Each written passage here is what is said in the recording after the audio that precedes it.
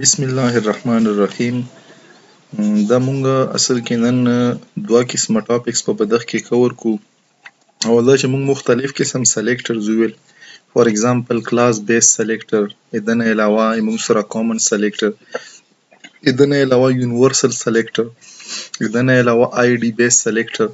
موږ سره یو سلیکټر دی چې موږ ورته سوډو سلیکټر یو په سوډو سلیکټر کې مختلف قسمونه دي په هغه کې یو ټایپ دی چې هغه موږ څه یو روټ روټ په نامه باندې موږ سره یو سلیکټر دی دا نورمالي استعمالیږي کله چې ته په ایچ ټي ایم ایل کې یو ویریبل جوړ کې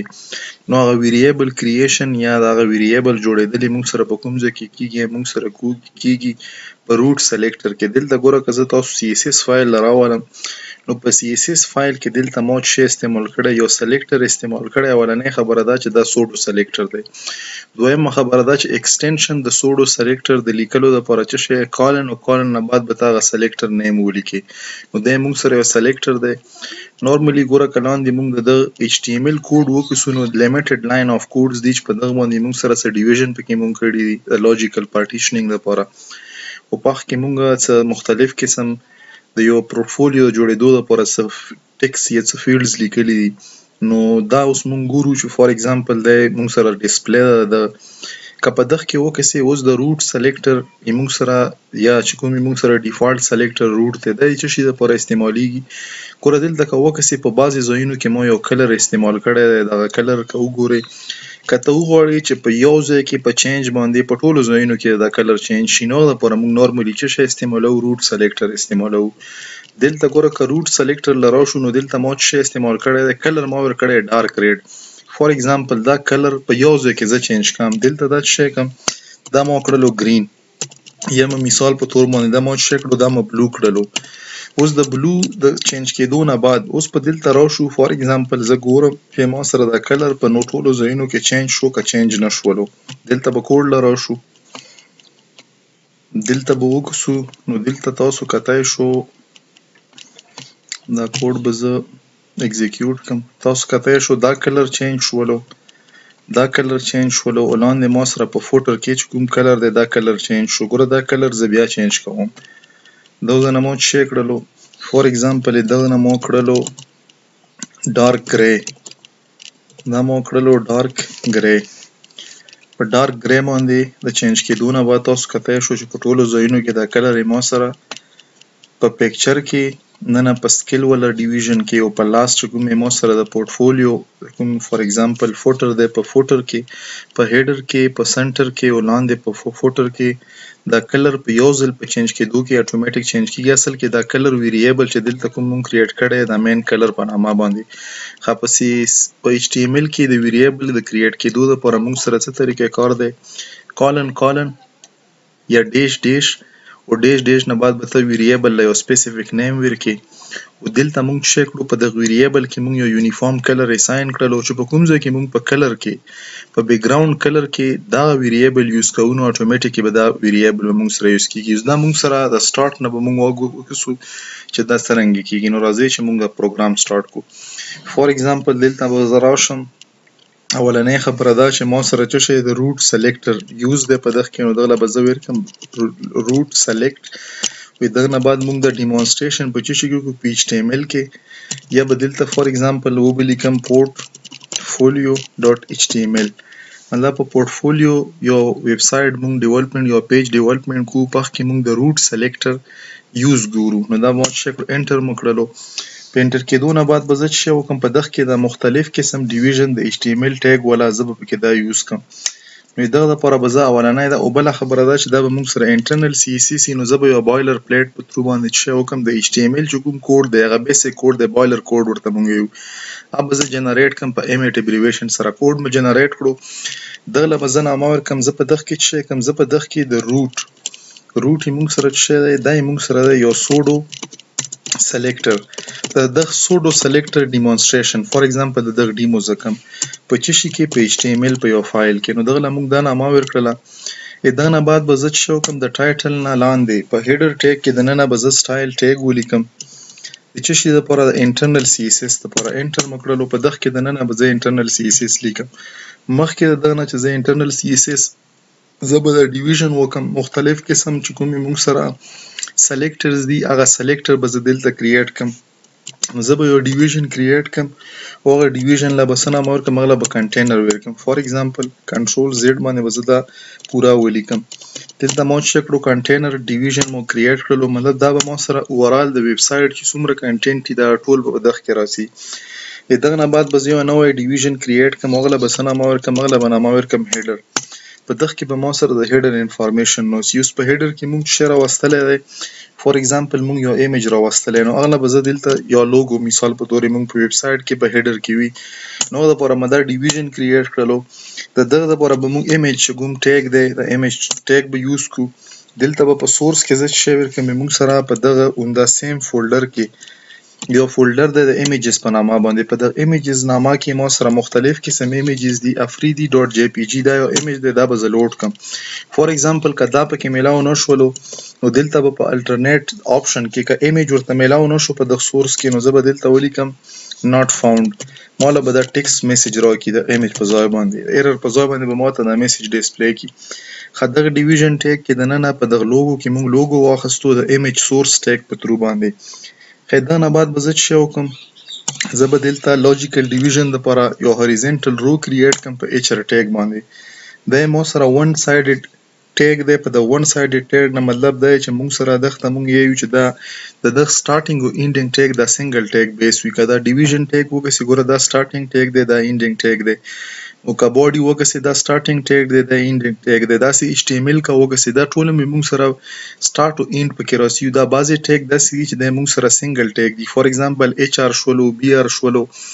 دغه نه علاوه سپین شولو دا مختلف قسم ټیګ دي نو په دغه کې مو چې وکړو مو لوجیکل پارټیشننګ یو هوریزنټل لاین مو دلته ډرا کړلو په دغه سره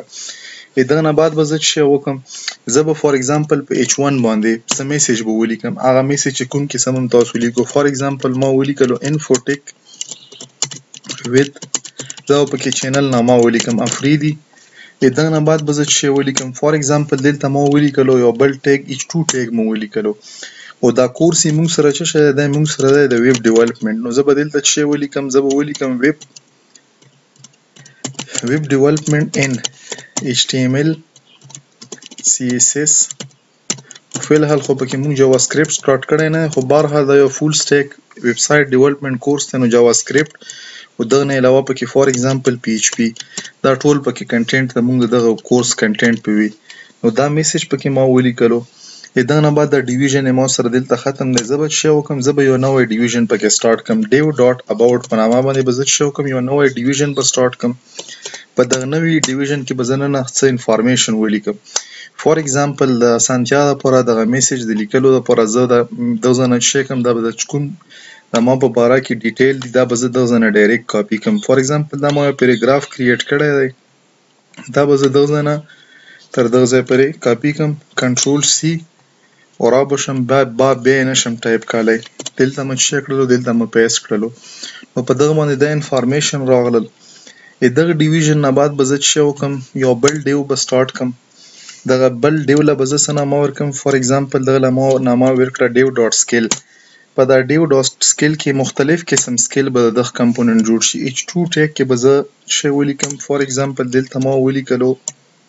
H2 ټیګ کې دننه سکیلز دا نه بعد به په پی ټیګ باندې ملټیپل سکیلز دلته ولیکم فار ایگزامپل ویب سایټ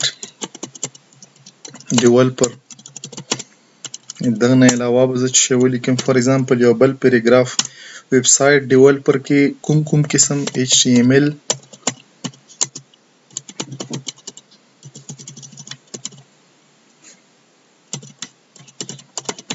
پروګرامر دا نه بعد به زه بل شی ولیکم سی اس اس فار ایگزامپل پروګرامر سی اس اس نه بعد به زه ولیکم جاوا سکرپټ پروګرامر د دغه نه بعد به زه یو نیکسټ پی ټیګ ولیکم پیراګراف ټیګ کې دننه دلته به زه کوم پی ایچ پی پروګرامر د پی ایچ پی پروګرامر نه بعد به زه فار ایگزامپل دلته ما ولیکلو MySQL Database Developer دا مختلف قسم سکلز ما ولیکل دا کم هم کېدی شي زیات هم کېدی شي چې څومره یې تاسو مرضي وي یا پکې ولیکئ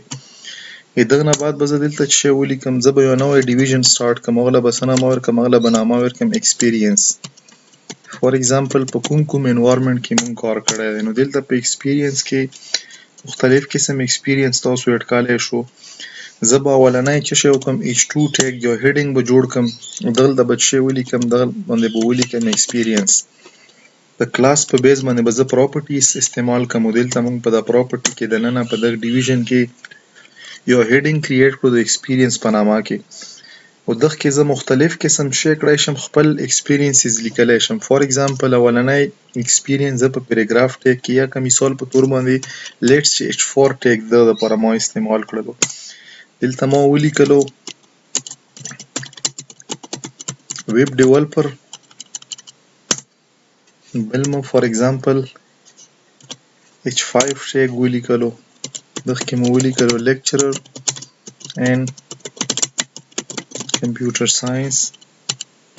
او دلته مو بل ایچ 5 ټیګ ولیکلو مخکې مو ولیکلو لیکچرر ان ای آی آی ټی فار ایګزامپل دا انسټیټیوټ کې ما لیکچررشپ ولیکلو خیر دا نه بعد به زه یو نیکسټ ډیویژن د څه شي لپاره د فوټر لپاره واخلم نو ډیو ډاټ فوټر انټر به کړم نو په دغه باندې ما سره څه شی وشولو یو نیکسټ ډیویژن کریټ شو دا سپیلنګ به زه ټیک کړم اف ډبل او ټي ای ار دلته به زه څه شی وکړم په دغه کې به پي ټیګ ولیکم په پي ټیګ کې دننه به زه ولیکم کاپي رایټ او کاپي رایټ نه بعد ایټ د ریټ کاپي چې موږ سره څه شی ورسره راشي اینډ دی ایټ د ریټ نه دی دلته به دا څه شی کړم دا به زه کړم اینډ چې دا سي ورسره راشي د دغه نه بعد کالن زه به خپله نامه ولیکم فارورډ سلیش دا نه بعد به زه چې وکم فون فار ایگزامپل نمبر تاسو پکې اني نمبر لیکلی شو فار ایگزامپل دلته ما چې وکړلو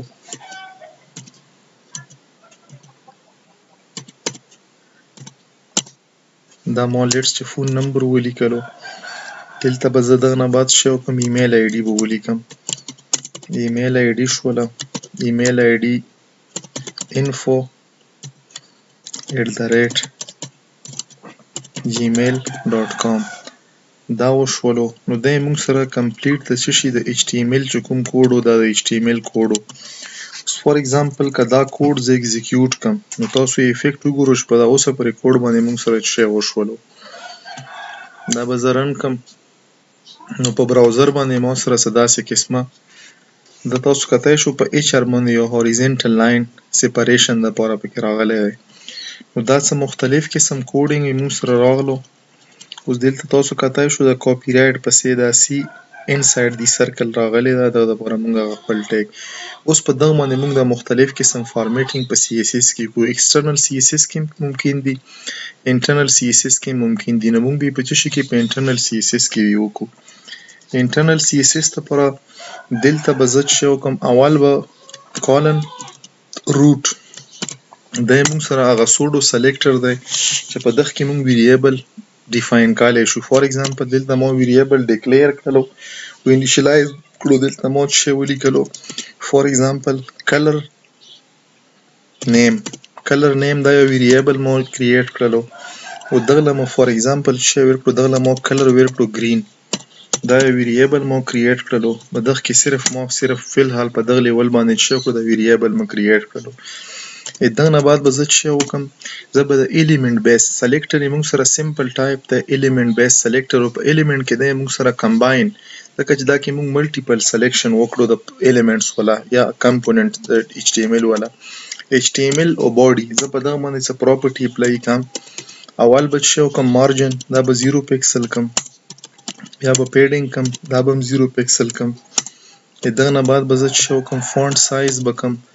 فونټ سایز فار ایگزامپل مو 18 پکسل یا 16 پکسل چې هر څومره تاسو ورکوي دغه نه بعد به زه چې کوم فونټ فیملی فار ایگزامپل فینټ فونټ فیملی مو سن صرف کړلو ای دغه نه بعد به زه اوس دلته که تاسو افیکټ وګورئ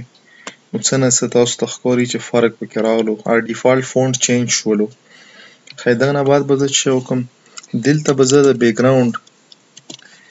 دلته به په یو آر ایل کې زه به یو ایمیج اوچات کم دلته به بیکګراوند ایمیج یو آر ایل په یو آر ایل کې موږ سره یو فولډر دی ایمیجز په دغ کښې مونږ سره فور اګزامپل سکای فریش په نامه باندې دا فولډر یو ایمیج دی فریش انټر مو کړلو دی مونږ سره په بیک ګراوند کې ایډ شولو خو دا بای ډیفالت سنګ سایز یې کم دی نو دا به ریپیټیشن پکې راغلی تاسو کتای شو ملټیپل ټایم دا یو ایمیج د کمپلیټ باډي کور کړی ده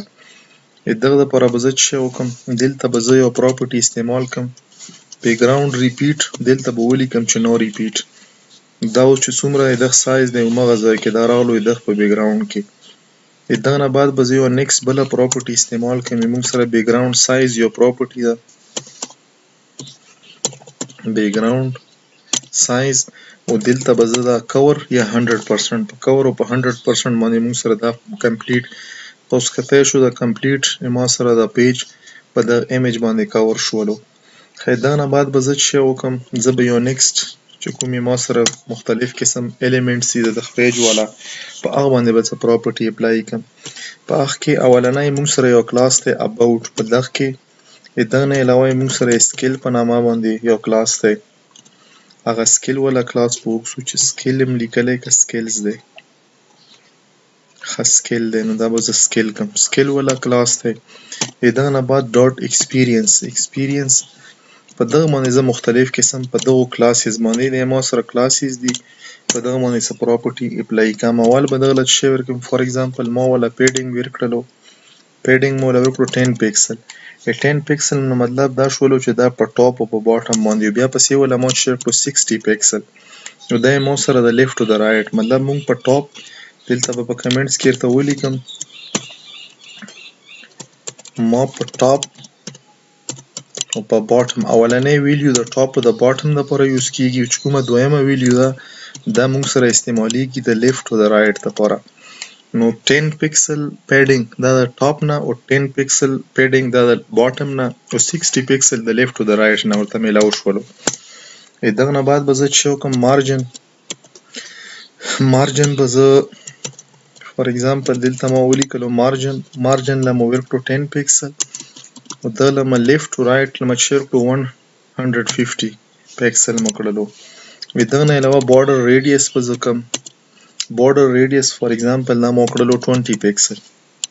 دلته به افیکټ وګورو چې څه افیکټ به اپلای شو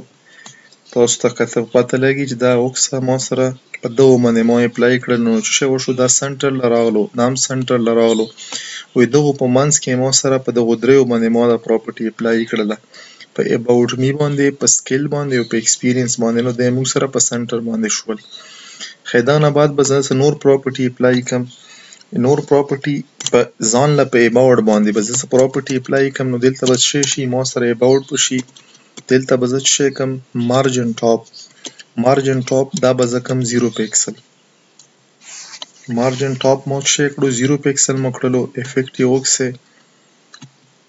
دا تاسو کتای شو دا نارملی ما سره بره لاړلو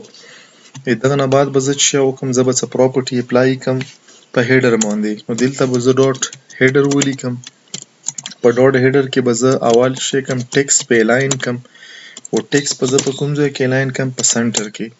خدلته موږ سره یو فیچر دی اوورفلو وير اوورفلو نورملي مونږ وغواړو چې دلته هيڅ شی کو سکرول پکې ختم کو نو دلته به زه وليکم اور کله که مونږ سره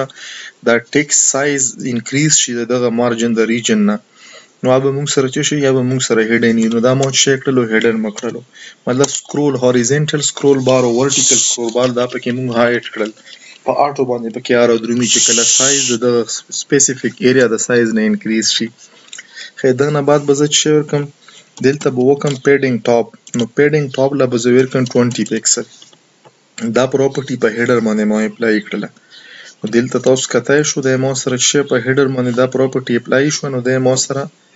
په سنټر باندې راوستو اولنې پراپرټي په موږ د اپلای کړې و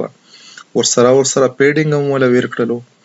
د ټاپ نه څومره ټوئنټي پيکسل اوور فلو هم پکې هيډن کړله خې دغه نه بعد به زه څه نور پراپرټي اپلاي کوم نور پراپرټي به موږ سره پچې شي کې په د هيډر کې انټرنلی انسايډ په د هيډر کې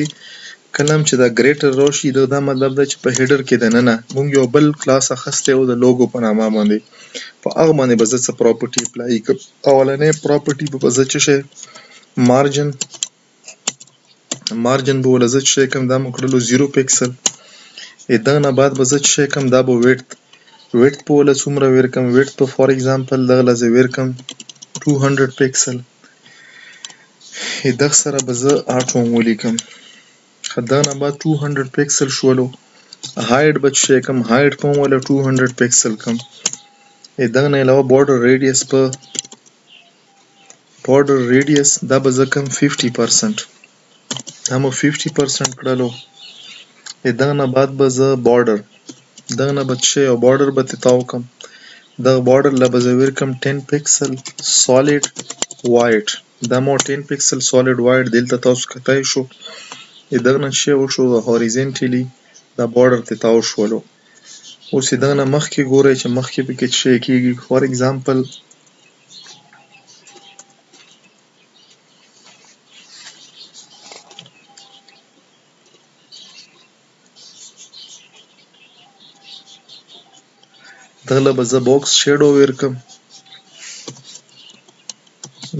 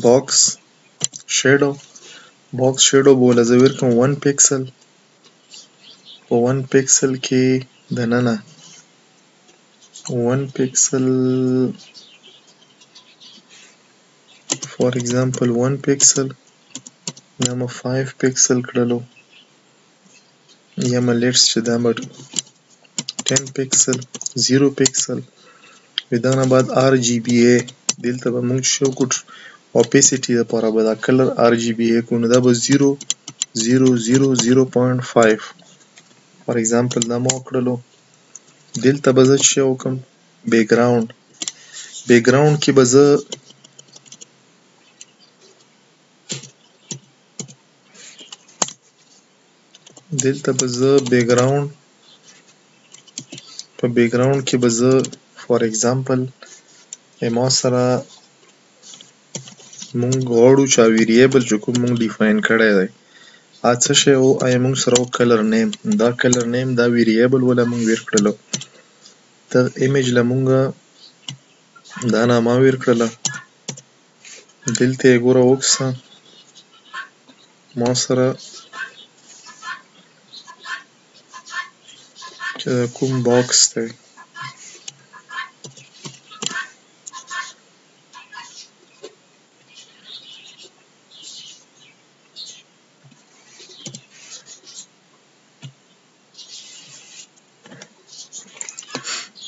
هغه پراپرټي به په اپلای کو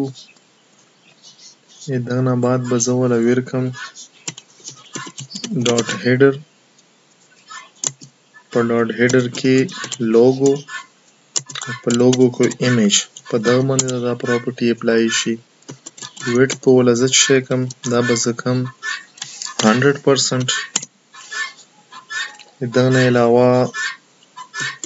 چې کومه اوورفلو ده دا به زه شی کوم دا به هډن کوم او دلته به زه شی کوم بارډر ریډیس دا به زه کوم 50% دا مو ففټي پرسنټ کړو دلته تاسو کتای شو اولنې چې کومه پراپرټي وه د کلر ولا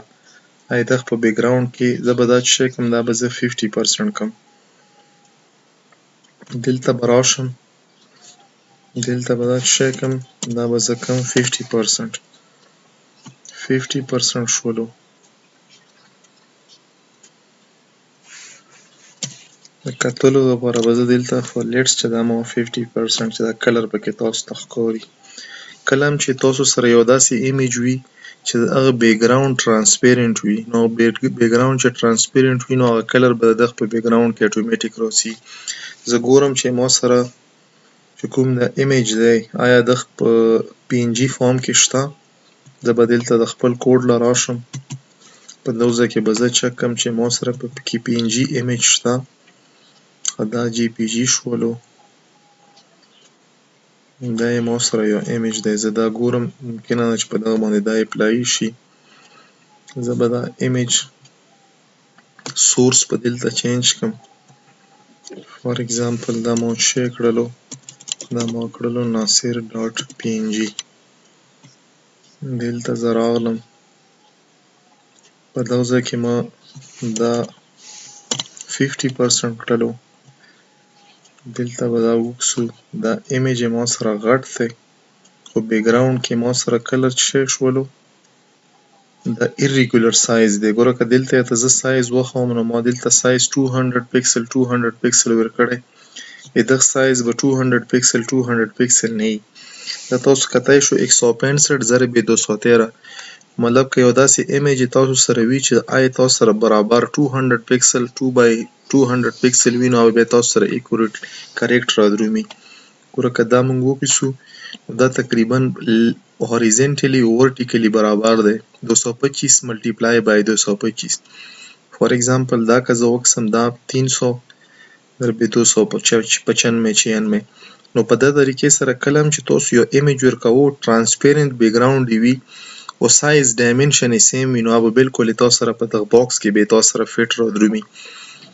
دغه له اوس مو سره څومره دی دغه ایمیج سایز دا دی 165 ضرب 223 دلته به زه لږ دا شیپ چې کوم سایز دی دا سایز به چینج کم ویډت په وله زه چې کم ویډت یې مو سره 165 او دلته یې مو سره دا دی 240 فار ایگزامپل دا مو 240 کړلو نو ستاسو کتای شو سه ما سره په دغه شیپ کې برابر راغلو نو کله هم چې تاسو سره وغواړي اوس چې زه دا کلر کوم قسم کلر ورکم په بیکګراوند کې به ما سره دا کلر راسي پر روټ کې ګوره چې دلته زه کلر چینج کم فار ایگزامپل دا ما چه کړلو دا ما بلو کړلو چو بلو مو کړلو نو اټومټیک یې دغ په بیګراونډ کې کلر چه شولو بلو شولو نو دی موږ سره د سوډو کوډ سلیکټر پر یو پراپرټی ده بار حال مخکې به لاړ شو مخکې چه کومې پراپرټی یا به په اپلای کو ښه دا په ایمیج باندې ریډیسم ولا 50% ویر کړلو ای دغ نه بعد موږ سره چه دا کوم هیډر دی فار ایکزامپل دلته ما سره په ډاټ هیډر کې په ډاټ هیډر کې مو یو پراپرټي استعمال کړې ده د څه شي ولا د اچ آر ولا دا به زه څه کوم دغله به زه بارډر کلر ویر کوم فار ایگزامپل دغله ما بارډر او کلر نه بارډر کلر به ولا ویر کوم بارډر کلر به دغله څه ویر کوم ویریبل او په دغه کې به دا کلر نیم استعمال کوم دغله ما هم دا کلر ویر کړلو دغه نه علاوه فار ایگزامپل ویډت ولا ما څه کړلو ویډت مو ولا کړلو دوه سوه پچاس پیکسل نو دلته به راشئ دا چې کوم ګوره دا لاین تاسو کسو دا چې کوم قسم زما سره دا کلر ډیفاین کیږي په دا روټ کې نو دا به اتوماتیک دلته ما دا نه لاندې چې ولګلو یو لاین مت ډرا کړلو فار ایگزامپل دا که تاسو یو چې دا ګلایي برابر شي نو دا مت لیټس چې کړلو دا من دو سو چالیس کړلو دا اوس ما سره بیا به ووځي نو دا به زه ومه ایک سو پنساټ کړم دلته راغلم دا نه بعد به زه چې وکم ما سره فار ایگزامپل په دا هیډر کې په دا هیډر کې ایچ ون ټیګ دی په دا ایچ ون ټیګ باندې به زه چې اپلای کړم دغله به زه ویر کړم کلر فار ایگزامپل دلته ما چې وکړلو د کلر پراپرټي په ما اپلای کړله H1 له زه څه کلر ویرکال غواړم ویریبل ویریبل کې ننه فور ایگزامپل دا کلر نیم دا کلر ولا ما ویر کړلو دغه نه بعد زه راولم چیرته ډاټ اباوټ لا فور ایگزامپل ما سره یو کلاس دی ډاټ اباوټ په نامه باندې په دغه کې د ننه زه څه کوم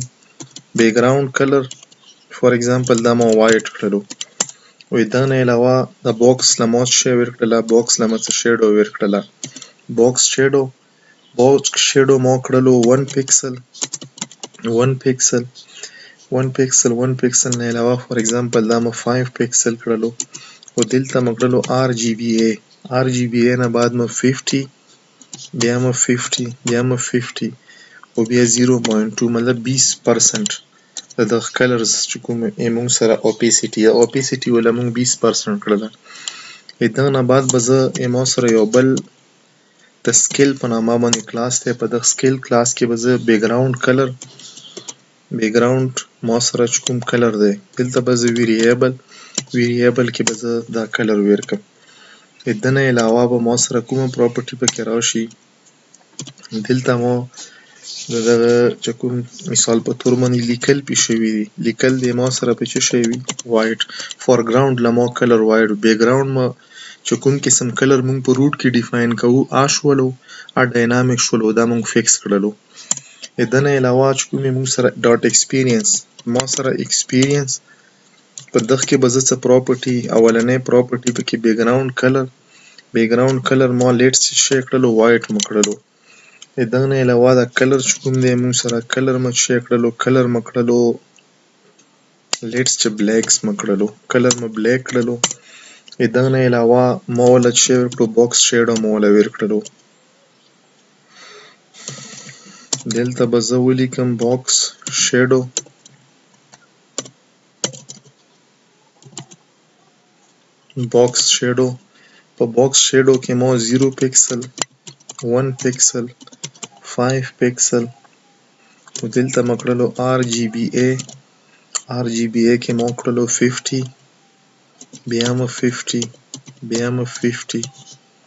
نو بیا مو کړو زیرو پوینټ ټو او دا مختلف قسم دلته هم لیټس چې ما دغه لم زیرو کړلو چې ما سره د شیډو د باکس ولا دواړو سیم راشي دغه نه علاوه به زه چې وکم ډاټ فوټر ډاټ فوټر په نامه باندې چې کوم لاست ټیګ دی موږ سره لاست کلاس وو دغه له به زه چې وکم کلر کلر به ولا وایټ کم ټیکسټ الاین دا به زه په سنټر باندې کوم دنه علاوه لاین هایټ لاین هایټ دا به زه څه کوم دا به زه کوم 40 پیکسل دنه علاوه فونټ سایز دا به زه څه کوم دا به زه کوم 40 پیکسل دا مو په دغه کې دا فکس پراپرټي شولې او ډاټ فوټر په ډاټ فوټر کې زه بیکګراوند کوم دی دغه لږ شی کوم د ویریبل کلر ولا ورکوم کوم قسم کلر دا ولا ورکوم او تاسو یو څو ګورئ ما سره دا ګوره دا بیکګراوند کوم کلر دی یې موږ سره دا یې ما سره په دغ فوټر کې راولو دا کلر چې کوم یې ما سره دا ویلیو دا دا به زه لګه کمه کم دا مه کړله 25 پکسل چې ما سره پورا راوشي دا 25 پکسل شوله دغله چې دا کوم هایټ دی دا کوله نور زیاتویم دا اوس نه ما شیر کړله دا مه لیټ چې 60 پکسل کړله نو په سیکسټي پیکسل باندې دا تاسو کتای شو دا زیات شولو دلته مونږ اوس دا چې کوم دا کلرز دي ګوره دلته کلر دلته دا انټروډکشن چې کوم دی د دغه کلر د سکیل کلر او د فوټر کلر دا په یو ځای کې په کلر چینج کېدو باندې دا به ما سره چینج کېږي دغه ځای نه مو چې شی کړلو دغه ځای نه مو دا کړلو ډارک دا مو کړلو ډارک ریډ فار ایگزامپل دا ډارک ریډ شولو دلته راغلم ګوره دا نیم چینج شولو دا ایچ آر ټیګ دا چینج شولو دا کلر چینج شولو دا سچ لاندې راشه دا چینج شولو او لاس کې په فوټر کې وګسې دا کلر چینج شولو نو دا موږ سره چې کلم تاسو وغواړو چې په روټ چې کوم یې موږ سره یو ډیفالټ سلیکټر د ایخ په ترو باندې په یو ویریبل کې یو پراپرټي ولیکي او هغه پراپرټي په ملټیپل ځایو کې استعمال شي بجای دغه چې په ملټیپل ځایو کې چینج وکړي په یو ځای کې چینج وکړي او اتوماتیک یې تاسو سره په ټولو ځایو کې چینج کیږي نو یغ د پوره موږ څه استعمالو یغ د پوره موږ استعمالو د ډیفالټ چې کوم موږ سره سلیکټر دی د روټ په نامه باندې کولن روټ وخت کې چې کوم قسم پراپرټي نورمالي د ویریبل ډیکلریشن د پاره مونږه روټ چې کوم ډیفالټ سلیکټر دی هغه استعمالو دا به تاسو ته کلیر شوی یو امید لرم نور به ان شاء الله په نیکس کلاس کې بیا وکړو